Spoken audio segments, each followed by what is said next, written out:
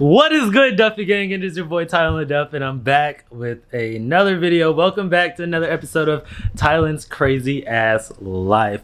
So, y'all, my life has been in ab- absolute shambles for the past um, months. I um, got my test results back today.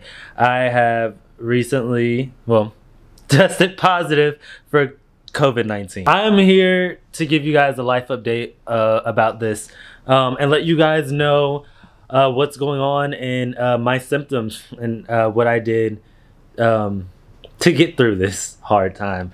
Um, y'all, it's very real. Um, this isn't a hoax. This isn't something that's fake. This isn't something that is make believe. Um, it, it's it's it's definitely affecting people, and it definitely needs to be taken more seriously than ever, especially right now. I'm so glad that I can be here making this video for you guys and uh, with good energy because yeah, um, I would uh, this past Tuesday was the worst day. You know, um, Sunday I started feeling the symptoms. Um, I started getting like a minor sore throat. That's whenever I started, you know, drinking a lot of water. I started um, uh, drinking Nyquil and whatnot, and by Tuesday, it hit. I'm talking about it hit full flat. I'm talking about like if you got a truck and you just laid out on the street and the truck just ran over. Not saying that I've experienced that before, but just saying that that's how it feels. It's just absolutely crazy that it happened to me. So that Tuesday night, my sore throat developed into like a full body. Like i felt my body begin to like shut down. My body started becoming really really numb. It started getting really weak to where i couldn't like walk. I literally couldn't. Um i started getting like really bad headaches. My body just everything just started to just shut down right? And I had my Apple Watch on. Y'all know I have an Apple Watch, and uh, thank God for this feature on Apple. But um, there was an indicator that my uh, um, heartbeat got like it just shot up like it like out of nowhere.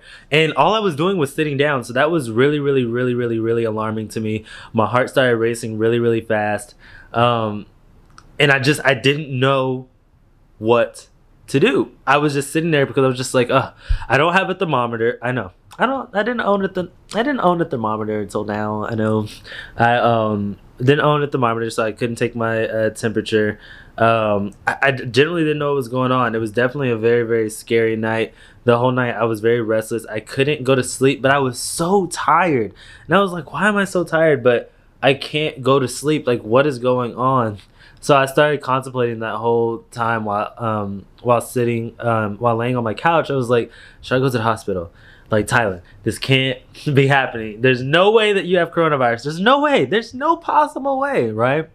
So the next day, I went to go get tested, and um, they told me it would take about three to five business days, um, three to five days to get my test results back. But the next day, you know, I didn't have, you know, um, uh, my body wasn't as weak. Um, I had some strength. Uh, it was just very, very achy. It just felt like I got beat up all day. Um, whenever I went to go get the test, I did have a fever of 102. Um, but they said that I was talking fine, I was looking fine, and I was breathing fine. So thank God, you know, that I didn't really have to go to the hospital to be in like ICU or anything or like a ventilator or whatever. She did say like if your uh, if your heart rate was that high, um, that was a possible indicator that you needed to go to the hospital. And I was like, oh my god. I was like, I could have just died in my house. I'm just like, I just don't know. Like, it, when I also went to go get tested, my blood pressure ended up being super high. Like, it, it was just, it was like 140 over 96 or um no no no no no no no I lied. Whenever I went to go get my blood pressure done, it was 126 over 89. But whenever um I went back home because I finally bought a thermometer and I finally um I got a uh, blood pressure thing. My blood pressure was 140 over 96. So my body was most definitely fighting this virus, y'all. It is most definitely it's out there. So you guys have to be safe.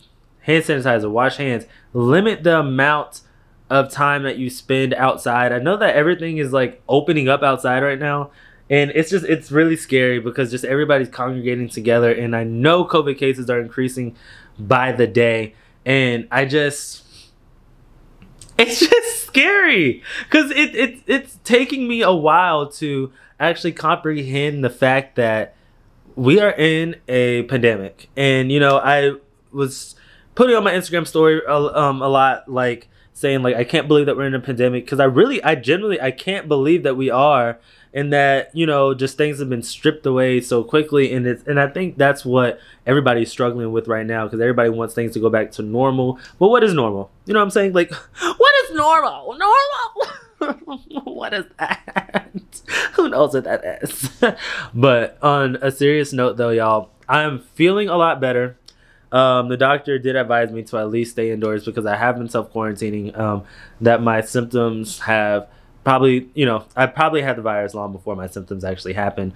Um, they do advise me to just quarantine, quarantine, quarantine, quarantine, stay indoors, um, and even after you don't have any more symptoms, to still quarantine three days after that.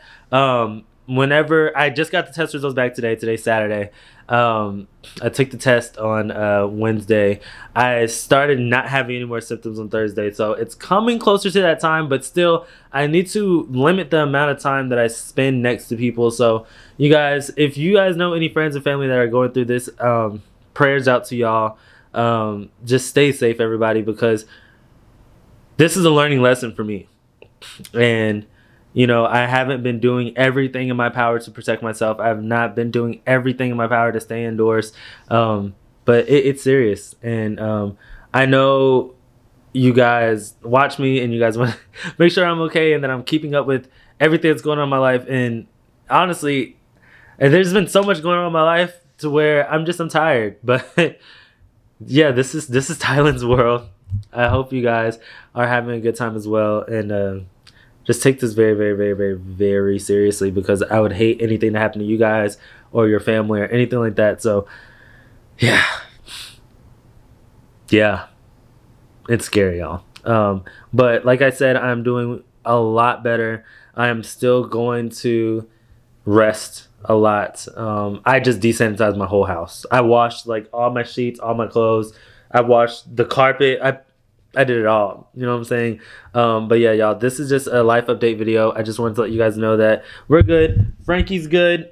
Ain't that right, Frank? Restifer's good. Ooh, ignore this pillow. I know this pillow is horrible. That's the old pillow. Look, I got I got the good stuff over there. You know what I'm thinking? but yeah, y'all. Um, uh, my bonnet's on because I'm moisturizing my hair. So yeah, and it's like white underneath and like wet still. So yeah. But anyways, y'all. Um, thank you guys for tuning into this video. Uh, hit that like button, leave some comments in the comment section below. Hit that subscribe button if you're new, and please take this, run with it, and listen what I'm saying. And I'll see y'all in the next video. Deuces!